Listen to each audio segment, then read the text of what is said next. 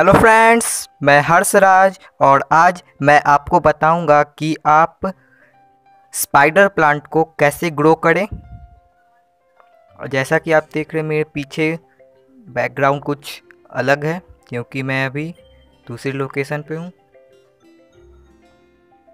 ये देखिए, ये है स्नेक प्लांट। इसे ही मैं आपको ग्रो करने के लिए बताऊँगा।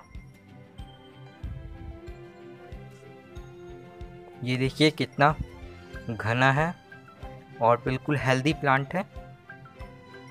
स्नेक प्लांट में इस तरह से बेबी प्लांट निकलते हैं। एक साइड से ब्रांच निकलता है उसमें से। उसी में से ये बेबी प्लांट निकलते हैं। फिर उसे आप आसानी से कट करके ग्रो कर सकते हैं। ये देखिए ये एक छोटा सा भी प्लांट है। इसे अभी बड़ा होने में टाइम लगेगा। छोटे को ग्रो करना नहीं है। इस तरह से कई सारे यहाँ पे बेबी प्लांट है जिसे मैं ग्रो करूँगा आज। इसे ग्रो करने के लिए आप इसे तोड़ ले। जैसे पिंचिंग करते उसी तरह आप इसे तोड़ ले। ब्रांच से अलग कर ले तोड़कर। ये जो प्लांट है, इसमें एरियल रूट आ जाते हैं, क्योंकि जब ये बड़ा हो जाता है तो अगर आपका ये ग्राउंड में लगा हुआ है तो आपका ये प्लांट एक न्यू प्लांट तैयार हो जाएगा ऑटोमेटिकली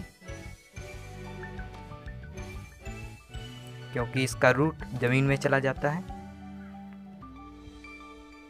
और मैं इसे हैंगिंग बास्केट में ग्रो करूँगा। ये देखिए। ये, इसे सॉइल में आप ग्रो कर सकते हैं। और चाहे तो आप सैंड में भी ग्रो कर सकते हैं।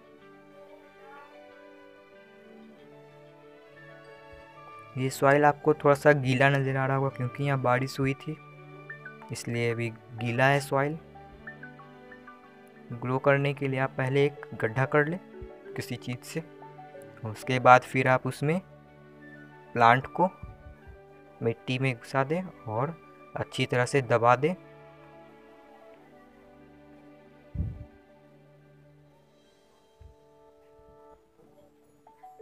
इसी तरह मैं एक और प्लांट को ग्रो कर रहा हूँ।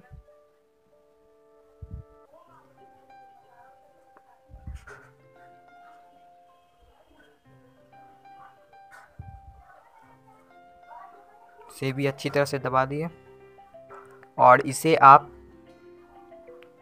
एक से दो दिन के लिए सेमी सीड एरिया में रखें। उसके बाद फिर आप इसे बाहर निकाल सकते हैं, फुल सन में। और ये वन मंथ में इसके लीफ काफ़ी बड़े हो जाएँगे। फिर आप इसे हैंगिंग बास्केट में हैंग कर सकते हैं। और अभी जब तक ये बड़ा नहीं होता था, तब तक आप इसे ग्राउंड पे ही रखें। अगर मेरा वीडियो अच्छा लगे तो लाइक करें और मेरे चैनल पर नए हैं तो सब्सक्राइब करें और बेल आइकन दबाएँ। Bye friends